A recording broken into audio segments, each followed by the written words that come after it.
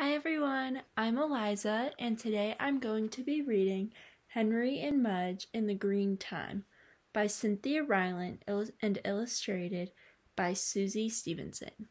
Now, I decided to pick this book to read to all of you because I really enjoyed the Henry and Mudge series growing up because I love dogs, so I loved reading a book about a boy and his love for his dog. So. The Picnic in the summer, Henry and his big dog Mudge like to go on picnics. They are.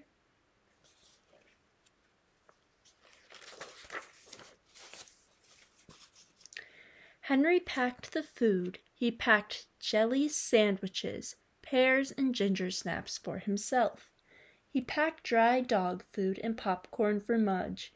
They both drank water. Isn't it silly that he's giving his dog popcorn? Do any of your dogs like snacks that aren't dog food or dog treats?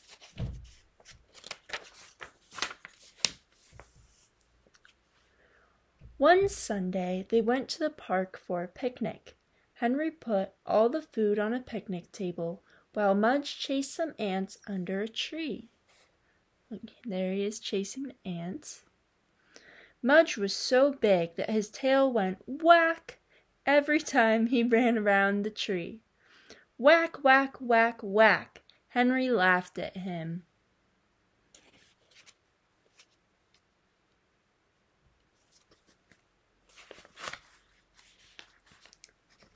Soon they began eating. Henry chewed his jelly sandwich while he threw pieces of popcorn into Mudge's mouth. Mudge always liked dessert first on picnics. While they were eating, a yellow bee landed on Henry's pear. Henry didn't see the bee. Henry picked up his pear. Oh no! What do you think is going to happen? What is the bee going to do?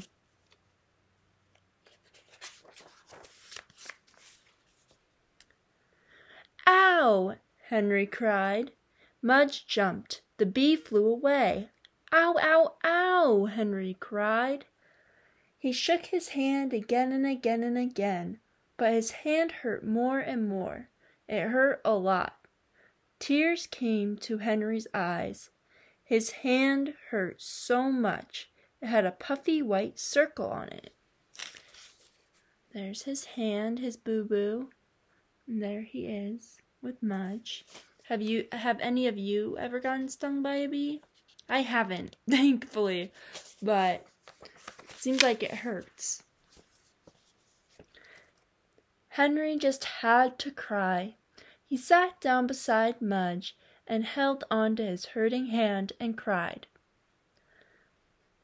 Mudge sniffed Henry's hair. Mudge sniffed Henry's hand. Mudge put his big nose in Henry's ear but Henry kept crying. Isn't that nice of Mudge? He cares a lot about Henry.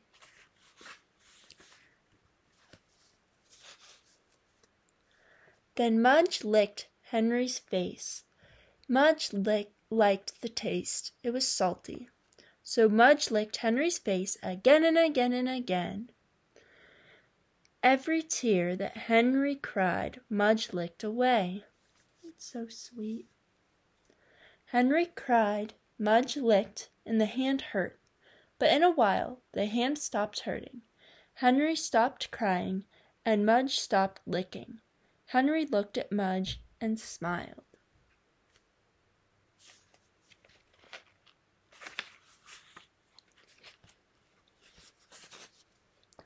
Henry picked up a ginger snap. He took one bite and gave Mudge the rest. Thanks, said Henry. Mudge wagged his tail and waited for another cookie.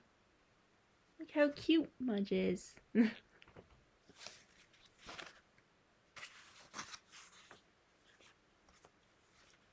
now it's another story. The bath. On hot days, Henry liked to give Mudge a bath. Henry liked it because he could play because he could play with the water hose and because he could cool off. Do you guys like playing outside in the summertime or going to the pool or to the beach? I think Mudge would like going to the beach because he likes the water.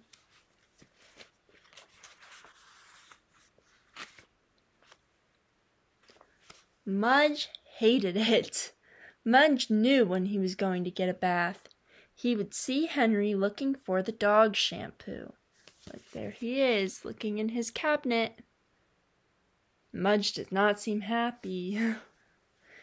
and when he saw Henry hooking up the water hose, he tried to hide under the steps. I think we can still see him though, huh? He's a little too big to hide.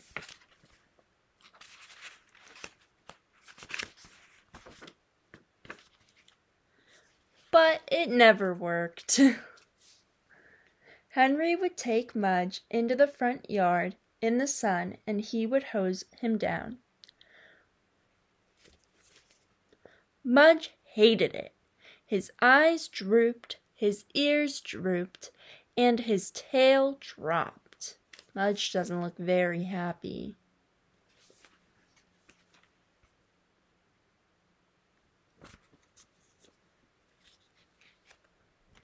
When he was all wet, he looked like a big walrus. There he is. That's funny. Henry laughed at him. Then Henry would soap him up. Henry scrubbed his head and his neck and his back and his chest and his stomach and his legs and his tail. He scrubbed a lot of him. Mudge really hated this part. He drooped even more.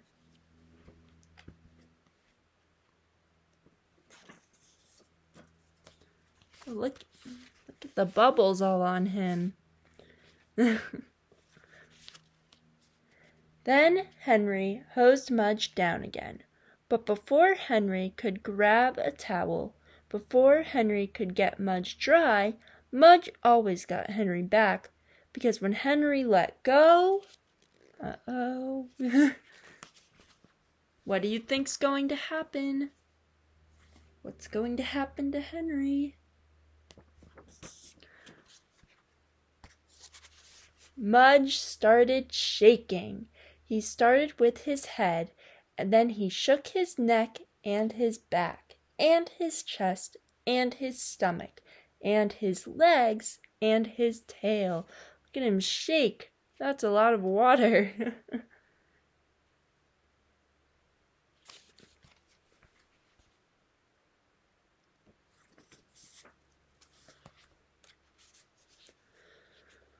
Mudge shook so hard that when he was done, he was mostly dry, and Henry was mostly wet. Thought it was supposed to be a bath for Mudge, but it looks like Henry had a bath too. then Mudge looked at Henry and wagged his tail, while Henry dried Henry with the towel. Like, so Henry's so wet now, he basically had a bath.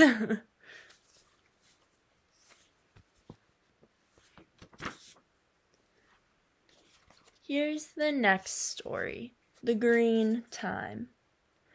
Beside Henry's ha- house was a big green hill. Late on summer days, Henry and Mudge went to the top of the green hill. There they are on the hill.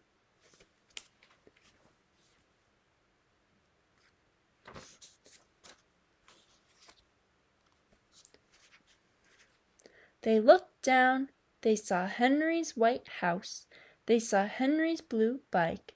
They saw Henry's wooden swing. There they are looking.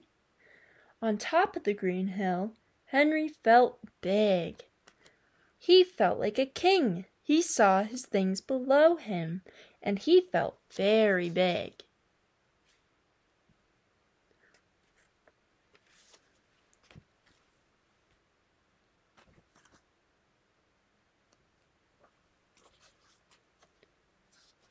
I am king of the green hill, Henry said. He looked at Mudge. You are my dragon. Mudge wagged his tail. Your name, Henry said, is Fireball. Mudge wagged again. And you are very scary, Henry said. Mudge wagged some more.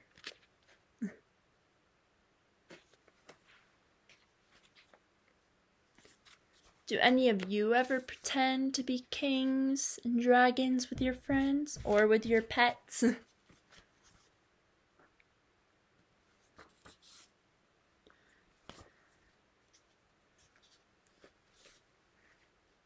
Henry and Mudge marched all over the top of the green hill.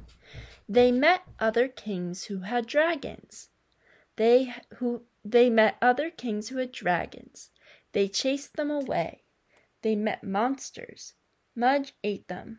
They marched and marched until they could march no more. Here they are, marching, and they're exhausted. Look how tired they are. Look.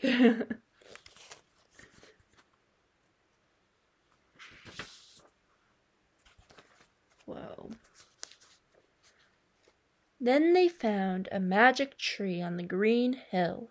It was a tree for kings and dragons who were tired.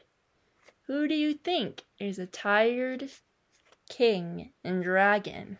there they are with the tree.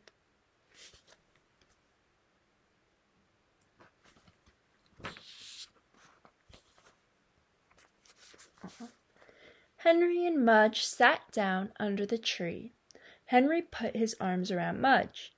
They were glad for a magic tree. They closed their eyes.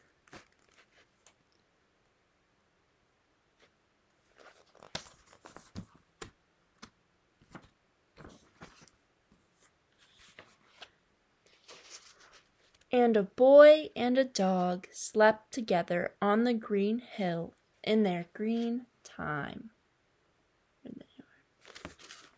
And that is the end of Henry and Mudge in the Green Time.